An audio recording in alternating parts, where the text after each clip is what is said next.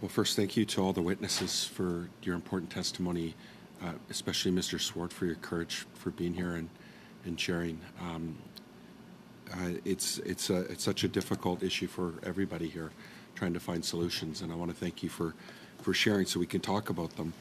Um, Dr. Conrod, we, we heard from you know Mr. Swart about uh, the fact that his daughter was able to access the internet, and in minutes she could get fentanyl, cocaine, meth, uh, hydromorphone, or marijuana. It was just a click away.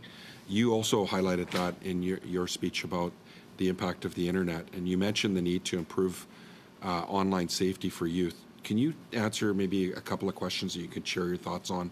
What role is social media playing in the youth mental health crisis? And do you have specific recommendations on how we can make the internet safer for youth? Thank you for this question. Um, I I have conducted quite a bit of research on the topic, and the work that I have done has demonstrated that social media, more than other forms of media, is contributing to uh, young people's poor mental health. Um, and um, the work that we have published um, is also was you know was attributed to having inspired some of the work that was done uh, by Meta um, on young people on the impact of their products on mental health.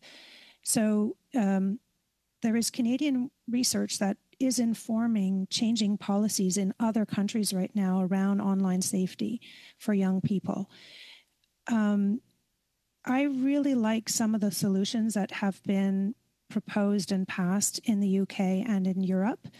And there's even a report um, that I could make available to everyone on some changes that have that industry has had to implement in relation to some new regulatory policies in Europe. And they do result in safer practices for young people on uh, social media platforms. So, what I can say is that um, the more a young person uses social media, the more they are likely to experience depression, anxiety symptoms, the more they learn that underage drinking is normal, and the more they're influenced to drink at an earlier age. And we also find the same effect for cannabis. Um, we also have shown that um, using social media impacts your cognitive development and makes a young person more disinhibited and impulsive, and it contributes to ADHD symptoms. And we know that all three of those behavioral profiles and symptom profiles p- place a young person at much higher risk for early onset substance misuse. Um, and so social media is directly and indirectly increasing young people's risk for addiction in my opinion. And it's through access to substances, but it's also through impacting on young people's cognitive development and, and the development of self control, as well as influencing their attitudes about substance use. So there are three separate effects. What kind of solutions for, for Canada with respect to online safety for young people hold industry responsible for the harms. And we're not doing that in Canada, to my understanding.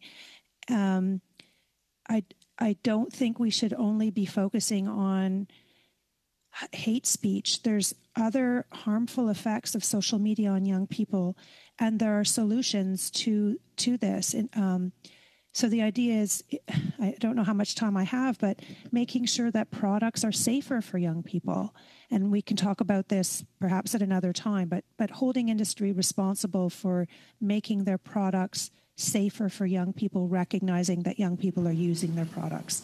Well, thank you so much, Dr. Conrod. I'm, we could ask you questions all day. I'm sure you, it's so important. Youth uh, uh, prevention is we just don't talk enough about prevention, and so look forward to you sending that, that information to us.